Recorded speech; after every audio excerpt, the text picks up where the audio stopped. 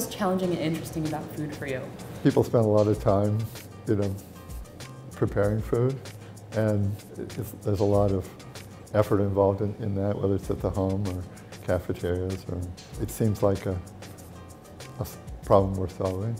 Yeah. Do you think they'll actually put some kids out of a summer job? Well, as technology develops, there's always some trade-off between existing jobs and new jobs. And, you know, this causes some, you know, frustration in the world. Um, but in general, you know, the world moves forward and things get better for everybody.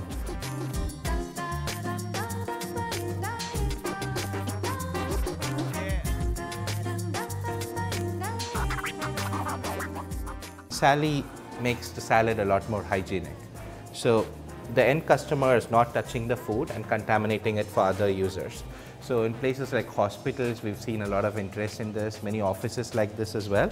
A good portion of offices around the US are managed by these uh, uh, food service management firms. These people can come in and they can refill the Sally every day and ensure people in offices get fresh, wholesome food. For us, the key thing is having high quality food available in these offices and we want to make sure these Sallys get refilled every day and that's really our goal.